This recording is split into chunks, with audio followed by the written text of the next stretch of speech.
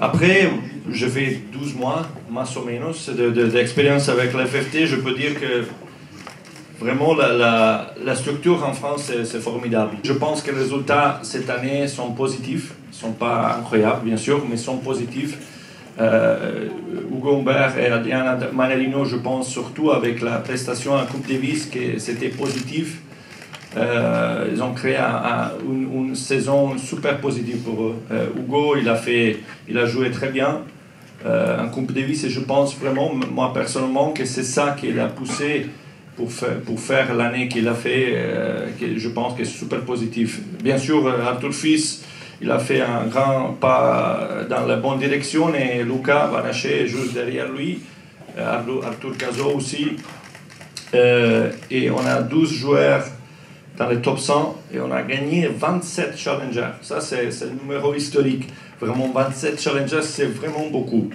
Et j'espère que ça se transformera dans le circuit ATP l'année prochaine. Ça, c'est un peu, on peut dire, pas naturel. Non, euh, c'est pas facile, mais quand tu gagnes un challenger, tu es prêt pour le circuit euh, ATP. Ça, je pense que c'est clair. Et aussi, Arthur Géa, il a fait une chose vraiment spéciale. Il a gagné trois semaines de suite en Grèce, après perdu la première finale. Donc, euh, ça, ce sont vraiment les, signes super positifs.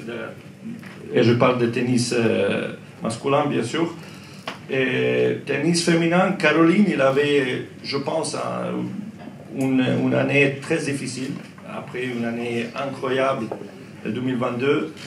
Elle a fini top 20. Je pense que c'est excellent résultat. Euh, on a vu surtout le tennis féminin des joueuses que, après top 10, quand tu, trouves un moment difficile, tu, tu, vraiment peux perdre beaucoup de places. Mais Caroline, il a fait euh, une année super compliquée, mais il est top 20 aujourd'hui, c'est ça super positif. Clara Bourrel, elle a gagné le tournoi la euh, semaine dernière. Ça, c'est quasiment top 50. Indian Paris, il a fait 37 tournois cette année. Ça, c'est vraiment 37.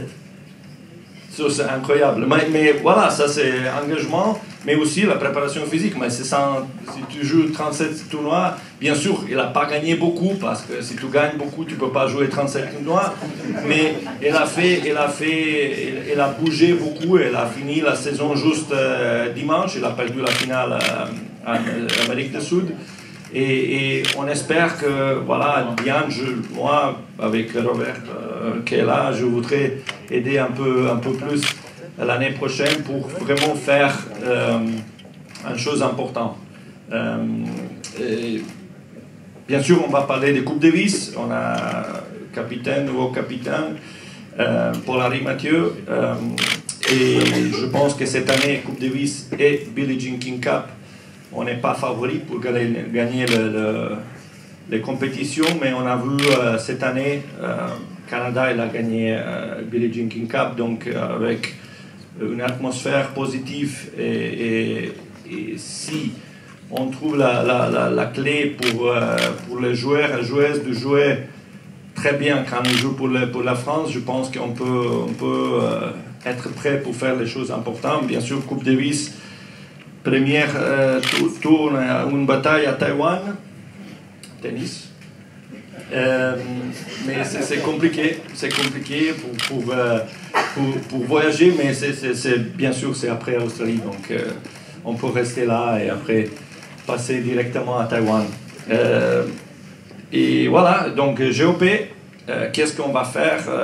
On va pousser beaucoup avec les deux capitaines et nos équipes, euh, les coachs des équipes et moi aussi personnellement, on va voyager beaucoup.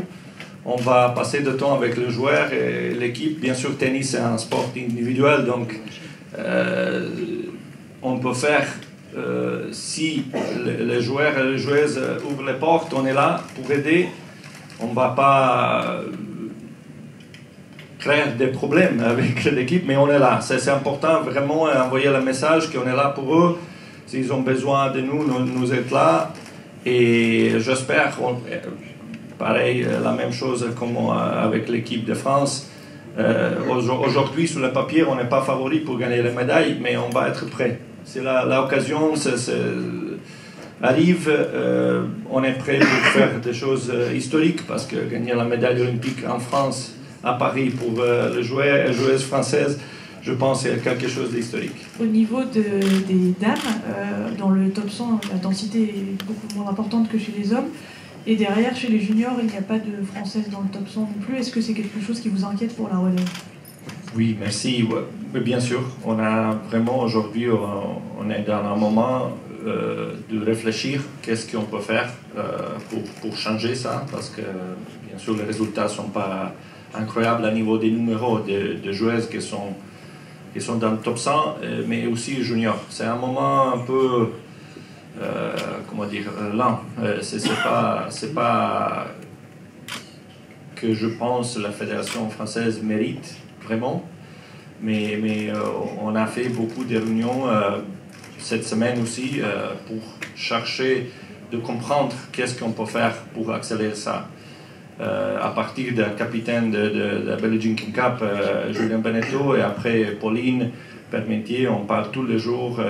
et pour bien sûr partie d'un très haut niveau, mais je pense, je pense que la solution est dans les, dans les clubs, dans les, pour avoir un, numéro important de, de, joueuses. Et après, voilà, c'est sûr que si on, si on, est, on est capable de créer la, la, la compétition entre eux, je pense que c'est plus facile à, que, que, quelque chose de positif euh, arrive.